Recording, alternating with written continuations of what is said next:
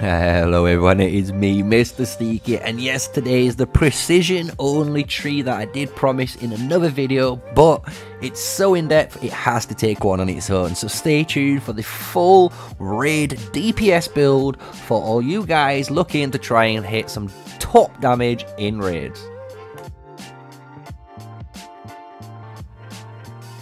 Hello, so yes, we are looking at a precision build for marksman today. So if you're looking to hit that top DPS ranking, even if you're a free-to-play player or if you're a low power member, stay tuned because obviously we're gonna be going over everything in this video. So before we get into things guys obviously thanks for the massive support. Hit the subscribe button hit the like and comment below what you think but this is my live version of the talent build, right? So we're going to go over everything what that's in game for the precision tree.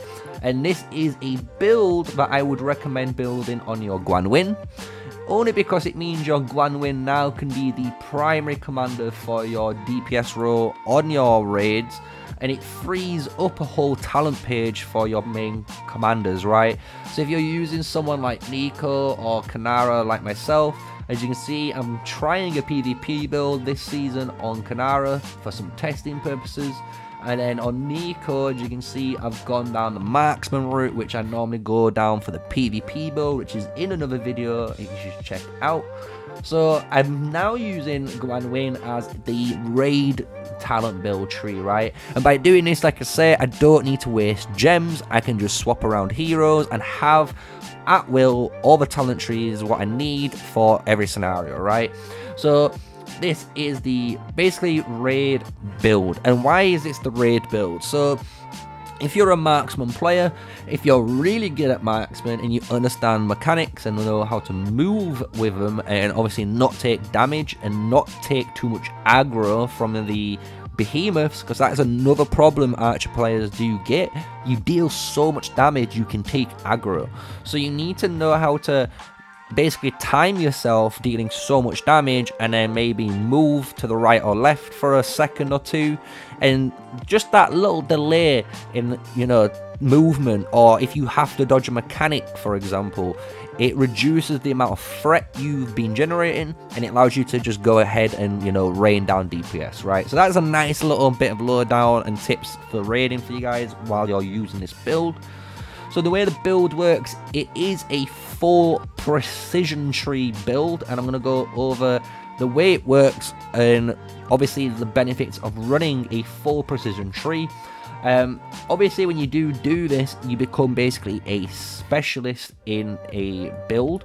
And the one thing you'll always notice that in these starting sections, if you were to call it, in these first areas, in all of the trees, they're very basic keystones, right? These are just kind of like almost stat buffs to your um, march.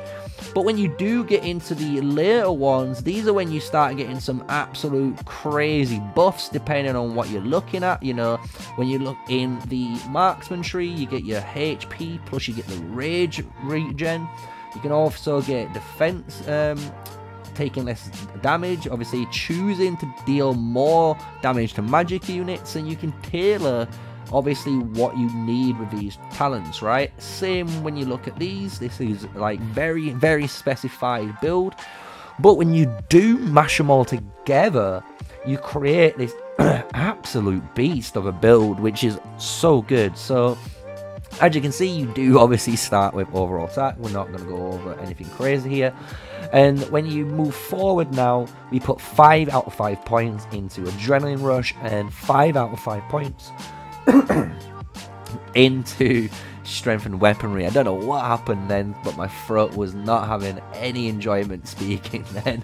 But yes, we move straight down the middle. It's a very easy path when you start off. You go straight down the middle, getting extra attack, getting extra damage, and getting again extra damage. And the reason why when you're in raids, counter-attack damage is useless. You don't want to be taking any damage. So you, by not taking any damage, you're not going to be dealing any damage with counter-attack, right? So you're going to be avoiding this at all costs. This is the same reasoning for all conquering and egoism. You shouldn't be taking any sort of damage. So this is why you are not taking any of these free keystones here. You can take um, overall speed, but I will talk about this talent later when we get towards the end of the build because you're going to have some free points at your choice, right? If you're wondering as well, just below, uh, my my foundation talents are always the same. I always go free, free, and free in this direction. I just think having you know 6% march speed is way more powerful than having 1.8% um, defense.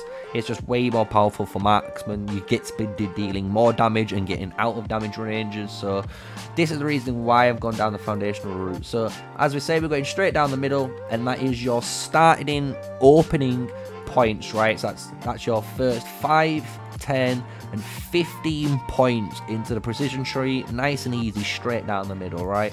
And now we're going to move on to your first choice. And both of these choices are actually dependent on your march and depending on how you want to play. So the thing is with Guanuin, she's excellent at both of these talents. And the reasoning is she excels at increasing your normal attack damage. And when you pair this with someone like Nico, you do even more insane burst because of the amount of normal attack damage you're stacking on top of each other.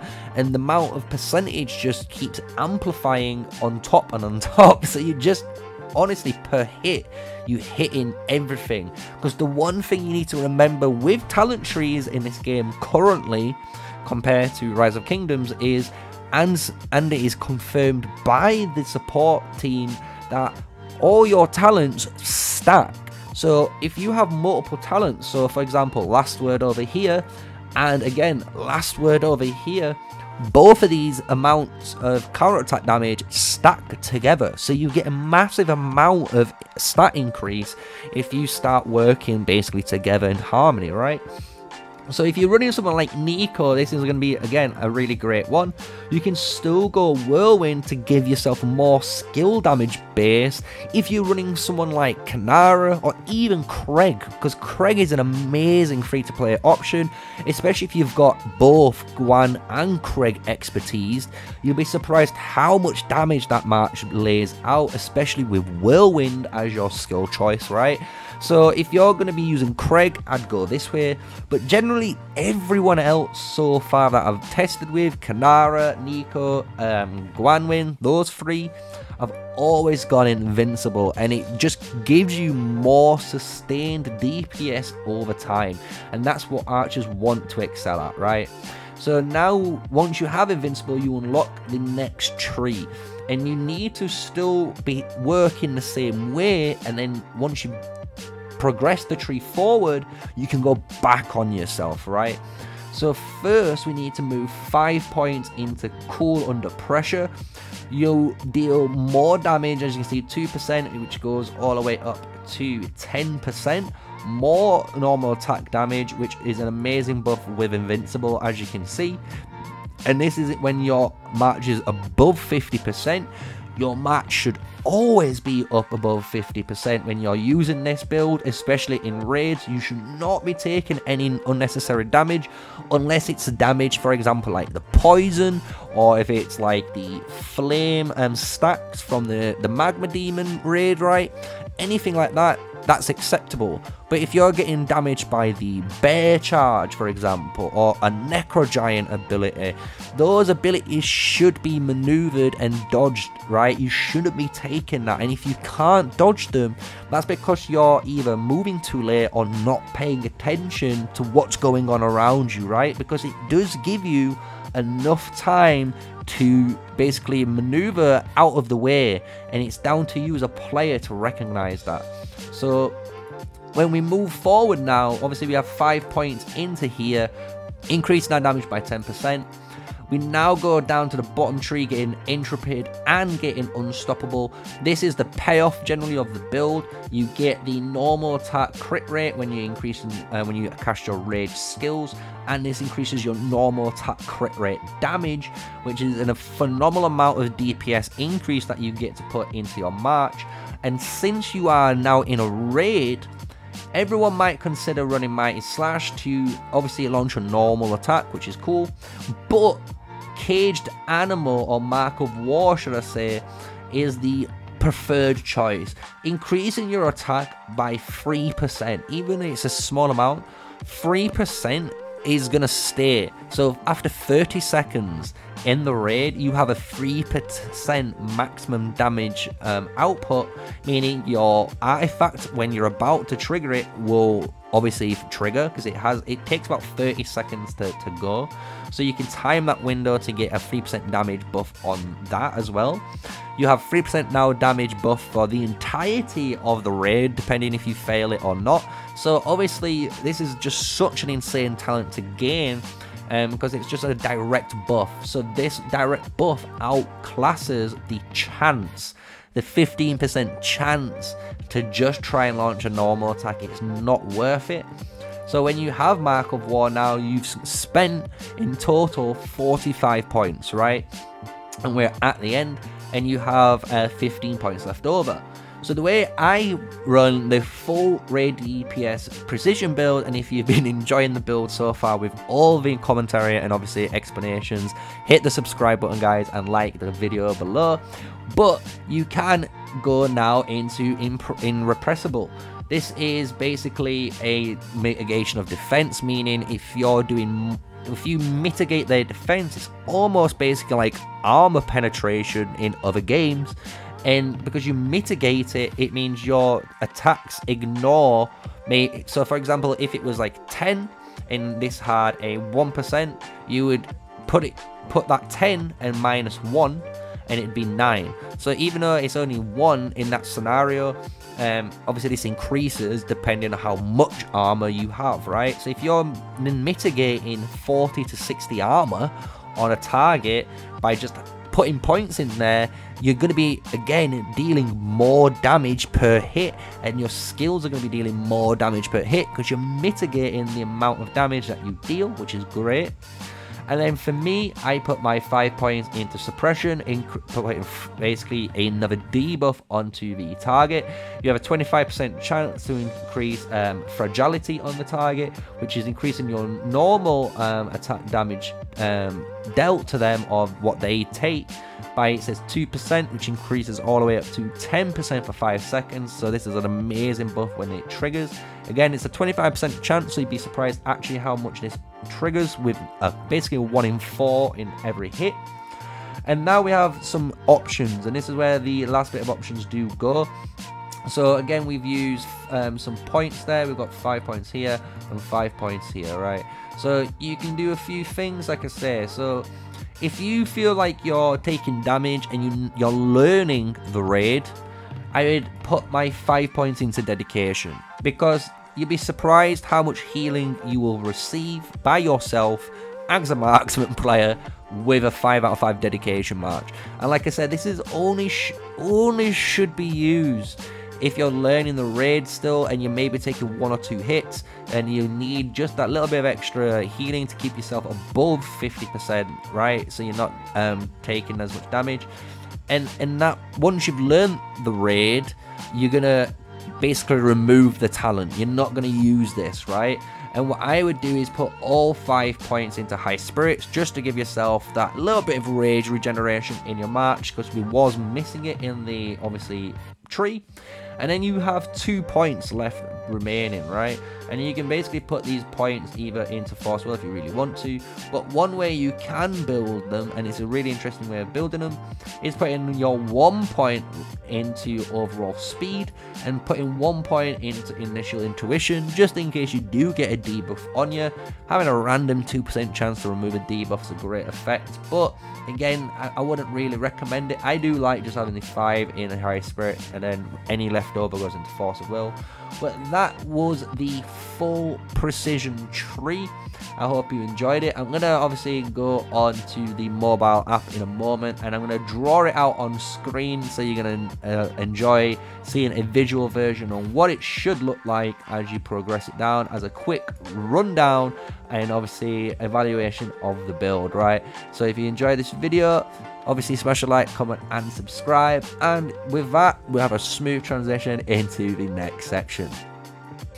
just a reminder guys, hit the subscribe, like and comment below what you think of the build so far.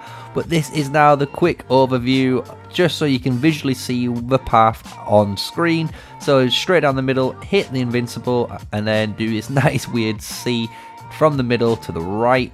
And then these are the options as I did explain before. So now we're going to start putting the points on the left side. And then obviously the optional points where if you're a bit of a weaker player obviously you want to go and pick the different um, healing but this is obviously just a quick overview for all those guys looking for more of a visual way. The red one again, like I said, this is the healing side. If you're worried about um, taking a little bit of damage, but you want to heal it up so you're still DPSing. But once you get comfortable with the raid, obviously remove it. And now you follow the red line as follows and then if you choose to and you, and you don't want to waste your last two points in the spec as you can see below you're going to put your points into this little high spirit. And then when I do draw it on screen you'll put one point into your movement and into the 2% right? And why why am I talking about this build so highly right? So if you check in a moment we're going to go over the actual um, raid DPS rankings when I've used this page as you're going to see and you'll be surprised on how powerful it actually is. So as we go and check through my saved mails you're going to see various ones from the raids we've done so this is with the raid build currently on screen. There's a rank 7 rating and this is on SS1 guys remember. There's a rank 4 rating in another Hydra one. If we go straight down into some other raids you're going to see some more high level ranking DPSs right? So if you enjoyed this type of video guys again smash the like comment and subscribe. I hope you enjoyed the precision tree special raid, raid DPS build. But that is me Mr. Sneaky out and I'll catch you guys in the next video. Peace